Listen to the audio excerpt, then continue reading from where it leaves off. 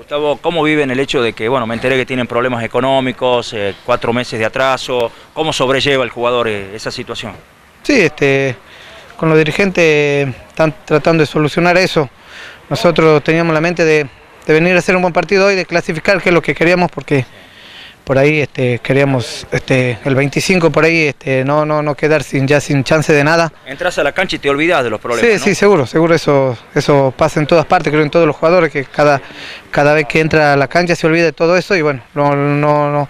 nosotros hicimos todo lo posible para conseguir los tres puntos y no, no se pudo. Una pena que Juventud, con, con los nombres que tiene, bueno, no pueda conseguir los objetivos, ¿no? Y Salta queda un poquito relegado también. Sí, seguro, seguro, este, por ahí creo que los dos partidos que los tres digamos que perdimos del local creo que por ahí se fueron un poco más la- las chances de clasificar.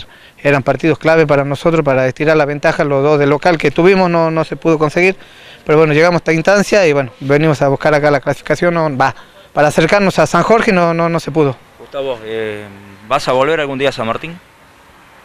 y uno siempre tiene esa ilusión pero bueno eh, ahora estoy en juventud me estoy Se te ve intacto, se te ve bien. Sí, sí, me siento bien, Los me- goles tuyos llegan, llegan a Tucumán, se, o sea, se ve que estás bien. Sí, sí, me siento bien. Este, eh, estoy bien físicamente. Este, eh, estos partidos también por ahí me hacen de, de tener, por ahí hacer las cosas bien para tener una chance después de, de- de algún regreso. Pero bueno, sigo, sigo demostrando que por ahí todavía, todavía estoy bien.